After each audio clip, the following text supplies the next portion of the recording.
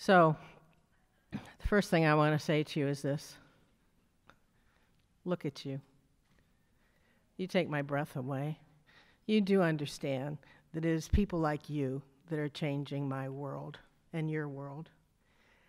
As the achievement and health of women go, so goes the achievement and health of a country and a culture.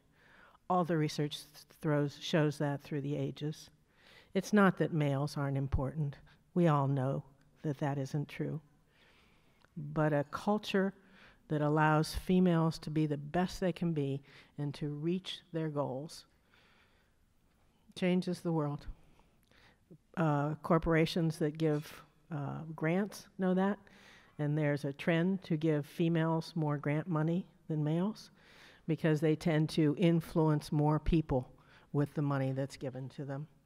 So look at you. You hold our country in your hands.